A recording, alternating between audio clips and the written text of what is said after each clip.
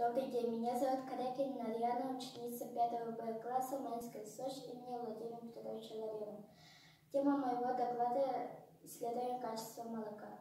Гипотеза исследования в молоке, продаваемых в магазинах, могут содержаться примеси, которые не указаны на упаковке. Предмет исследования – степень разбавленной водой и наличие примесей в молоке и их соответствие указанному на упаковке составу.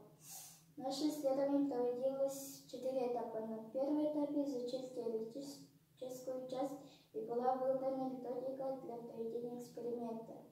Объектами исследования стали четыре марки молока. Молоко домашнее 4,2%, молоко полное 3,5%, молоко надо 2,5%, молоко большая кружка 2,5% жирности.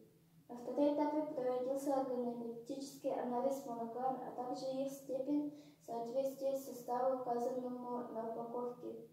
На третьем этапе провели химический эксперимент по выявлению примесей. На четвертом этапе обрабатывались полученные результаты, сделали выводы и оформили работу. Все молоко, которое мы брали, оказались хорошими, без примесей.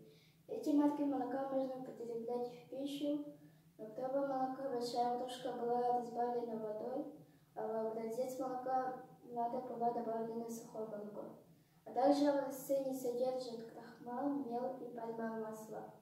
Домашнее молоко по всем параметрам подходит для употребления в пищу, но в нем могут содержаться болезнетворные микроорганизмы.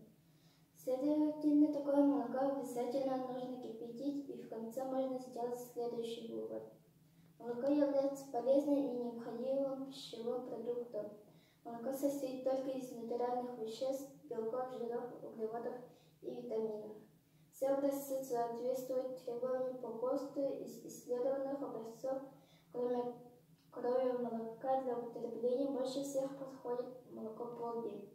Всегда полезно употреблять натуральное молоко, если покупаете молоко в магазине, Обращайте внимание на упаковку и что там написано в составе. Спасибо за внимание.